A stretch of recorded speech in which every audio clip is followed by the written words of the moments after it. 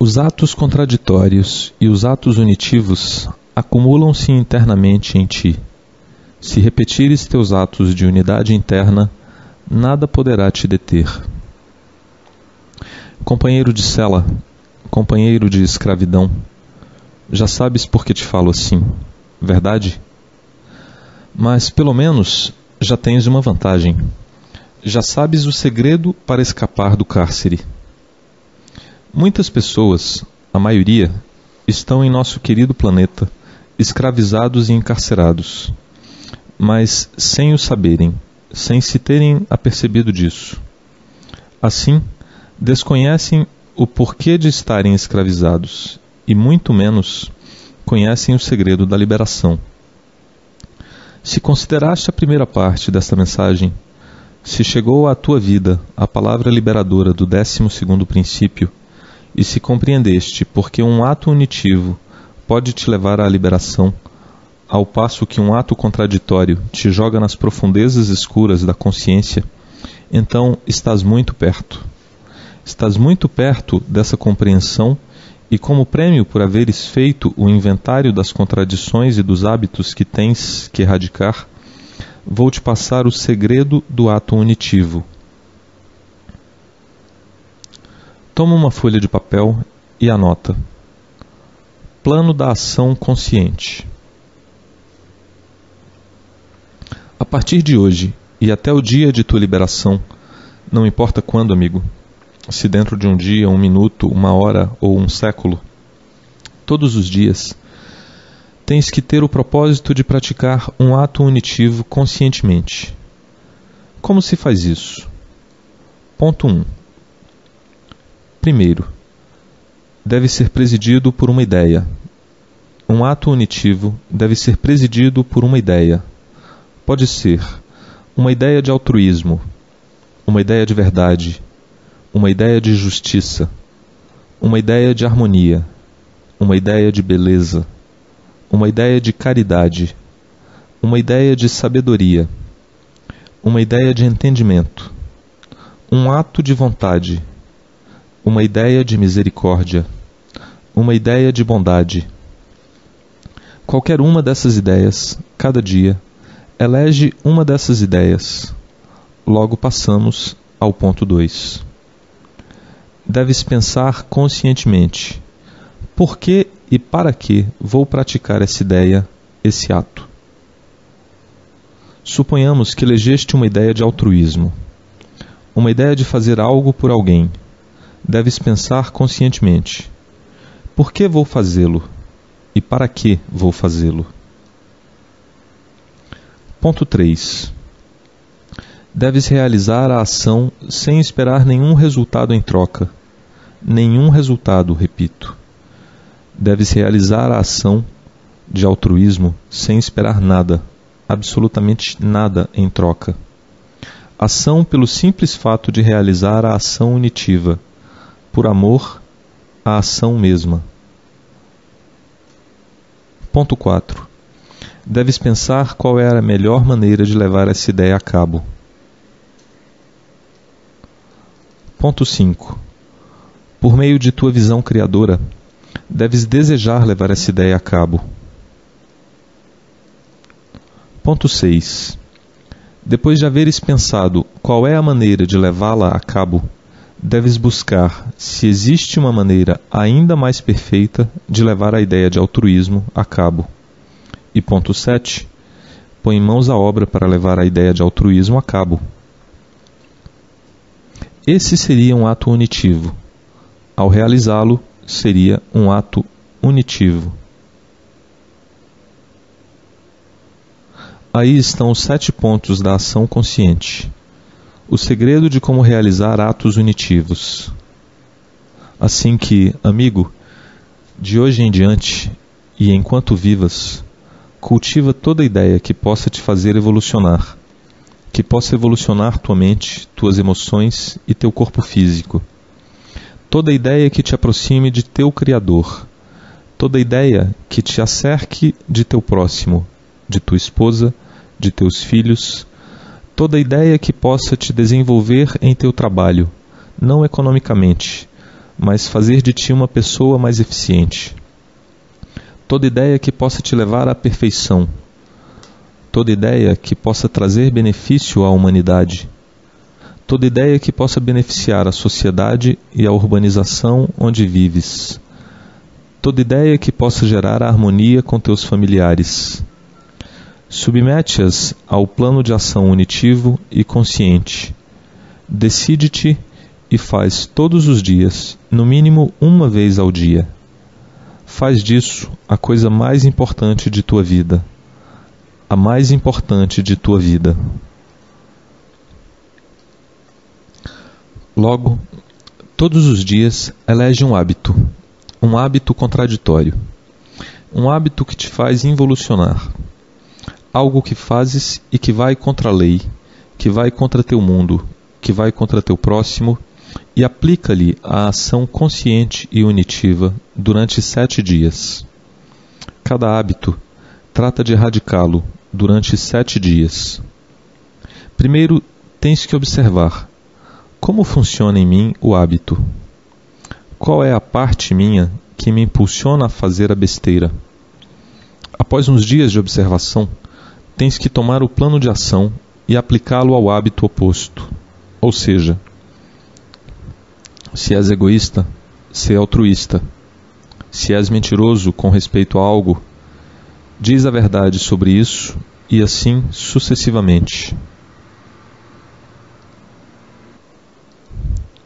Se comes muito, faz o oposto, mas não o oposto contraditório, senão que o oposto unitivo. Deves pensar: por que e para que vou fazer isso, já que, se como muito, isso me prejudica. Então, deves pensar acerca disso. Deves pensar: por que e para que vou comer menos? Deves sentir a bondade do fato de comer menos. Deves buscar a melhor maneira de fazê-lo, a maneira mais inteligente. E se há uma maneira perfeita de comer menos, sem que te saia o tiro pela culatra, Logo, não te esqueças, em toda ação unitiva com terceiras pessoas, não podes esperar nada em troca. Tens que empreendê-la unicamente para lograr o ato unitivo. O outro segredo do ato unitivo é simples. Elege sete pessoas que vivam em teu mundo. Transmite-lhes essa mensagem. Ajuda-as a compreendê-la, a verem sua verdade e ensina-lhes a realizarem atos unitivos. Esse é o segundo grande segredo. O primeiro é a ação consciente. O segundo é a ação desapegada, ajudando ao próximo a realizar atos unitivos. O terceiro grande segredo é a oração. Não a oração de ir à igreja aos domingos e dizer o Pai Nosso. Em absoluto, amigo é compreender por que e para que vou orar. Sentir o desejo de te dirigir a teu Criador. Busca qual é a melhor maneira de fazê-lo. Terás que elaborar tua própria oração. Buscar a maneira perfeita de orar. Orar sem esperar nenhum tipo de resposta, nenhum tipo de resultado, e ensinar outras pessoas a fazerem o mesmo não importa se levas meses até aprenderes a orar. Esse é o maior ato unitivo que pode realizar um candidato à liberação: o de se comunicar corretamente com seu Criador. O segredo da oração. O quarto ponto, o quarto segredo do ato unitivo, cada vez que realizas um ato unitivo e podes sentir o poder da vontade do Criador em ti, agradece em teu interior. Dá graças internamente por haveres podido realizar um ato unitivo. Agradece em teu interior. Cada vez que agradeces, a bondade, o amor, a vontade e a compreensão que sentiste ao realizar o ato unitivo estarão se acumulando como força no teu depósito de ações unitivas. O quinto ponto, o quinto segredo quando te encontrares em dificuldades, quando sentires que tua parte impulsiva quer te levar a um ato contraditório, quer te levar à violação de um princípio, de uma lei, pede com fé a teu Criador e aquilo que acumulaste, aquela força que acumulaste através de teus atos unitivos, te ajudará, te dará forças naquele momento para poderes equilibrar a balança e não cometer o erro que tantas vezes cometeste no passado. Esses são os cinco grandes segredos que podem te ajudar na realização da ação unitiva. Como podes ver, tens que trabalhar. Tens que fazer disso a coisa mais importante de tua vida. A mais importante de tua vida. Trata-se de tua liberação. Trata-se de tua vida. Trata-se de te converteres em um ser humano livre. Mas tens que ser paciente contigo mesmo. Tens que ir lentamente. És um neófito na prática e execução dos princípios cósmicos, e tens que saber que, neste momento, não podes realizar tudo o que compreendes e que tens que ir aprendendo todos os dias a ser um profissional um profissional da liberdade, um profissional de tua união com teu próximo e com teu Criador. Tens que estar consciente de teus hábitos do passado. Tens que estar consciente que teus hábitos do passado pesam, que teu corpo pesa, que tuas ações contraditórias pesam. Tens que levar tudo isso em conta. Tens que rechaçar o desalento, a depressão, a angústia, o desânimo. Tens que ser astuto e desperto. Não deves permitir que te derrotem. Tudo isso pesa e pesará. Se apesar de haveres estudado os doze princípios, se apesar de haveres meditado e refletido acerca deles, e se apesar de haveres posto tua boa vontade para realizá-los, e se com tudo isso ainda permanecem obscuros para ti, se ainda encontras grandes obstáculos em teu caminho, então busca aquelas pessoas que antes de ti transitaram por ele. Elas te ajudarão, assim como tu farás o mesmo com outras pessoas que depois de ti começarão a realizar os princípios de libertação e que necessitarão de tua ajuda. Essas pessoas, as que transitaram e já estão livres, ou em vias de liberarem-se, portanto, mais evoluídos, te abrirão o coração, irão te compreender, se tens boa vontade e intenções sinceras. Elas estão por aí, estão a teu lado, trabalham caladas e silenciosamente. Somente as pessoas que buscam se liberar as reconhecem e buscam sua companhia. Assim que, prepara-te, amigo Todos nós cruzamos por onde tu vais cruzar. Todos nós tivemos nossas dúvidas e nossos temores.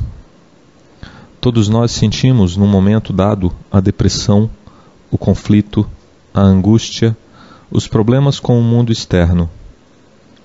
Todos nós éramos armazéns completos de atos contraditórios. Nenhum de nós sabia sequer o que era um, um ato unitivo nem o que era a palavra união. Choramos, nos debatemos, fizemos besteiras, mas logo chegamos à única conclusão possível, a mesma que tu mesmo chegarás.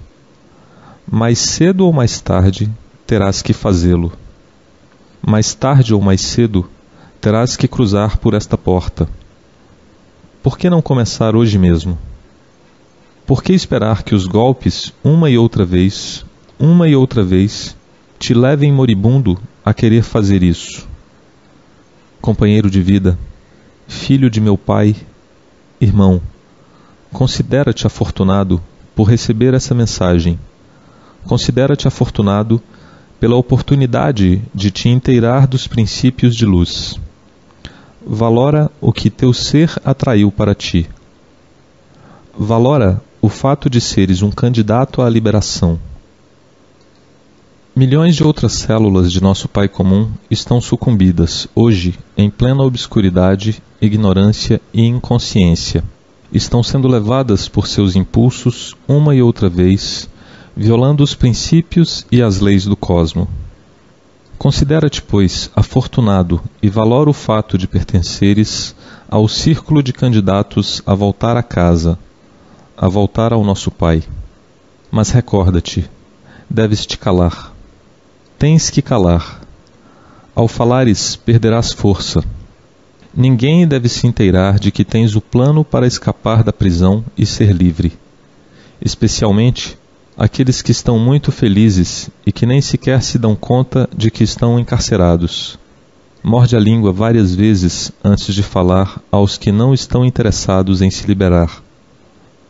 O axioma dos grandes mestres liberadores de todas as épocas Tu já o sabes, seguramente muito bem. Saber, já o sabes. Querer, dependerá do trabalho que faças. Se levares a cabo o que está nos doze princípios, irás querer. Atrever-te, ousar. Também, se levas a cabo o conteúdo dos doze princípios, terás a força para fazer e o farás. E se calas, terás o dobro da força. Recorda-te disso e grava-o em tua mente. Os que estão felizes na prisão planeta, os que estão inconscientes da existência de nosso Criador, da existência de um mundo de luz, da existência da liberdade, não deixes que se interem de teus planos para escapar da prisão. Cuidado, poderás cerrar de novo as portas da prisão por muitos milênios. Tens que esperar que eles se deem conta e despertem.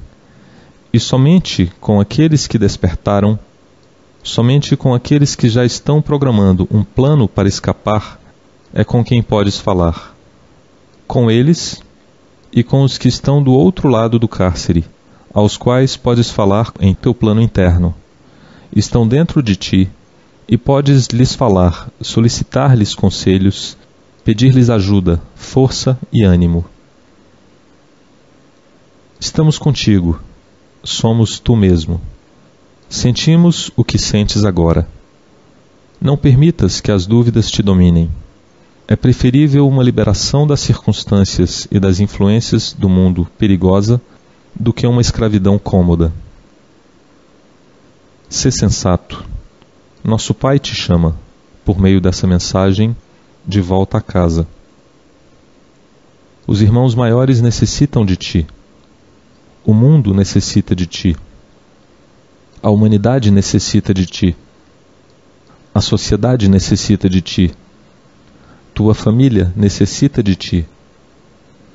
Mas não como és hoje. Todos necessitamos de ti, com livre arbítrio, com uma vontade poderosa com uma mente tranquila e clara, com consciência desperta, com emoções equilibradas, com força e poder para fazer e com um corpo são que possa te levar a realizar tudo aquilo que necessitamos e que tu necessitas também. Irmão, o cosmo clama por nós. Chegou a hora estão soando os sinos da liberdade para os próximos dois mil anos. Essa é tua oportunidade. Tens livre-arbítrio. Deverás decidir a quem queres obedecer, se a tua consciência livre ou se a teus instintos baixos. É tua vida Cumprimos com nosso dever de te passar a mensagem do décimo segundo princípio para a tua liberação. Se não o fizeres hoje, terás que fazê-lo algum dia. Que todo o nosso Criador absoluto te bendiga, te cuide e te guarde. Que te dê a coragem, o valor, o ânimo e a luz. Que ilumine teu caminho. Graças por teu tempo por tua atenção. Graças, irmão.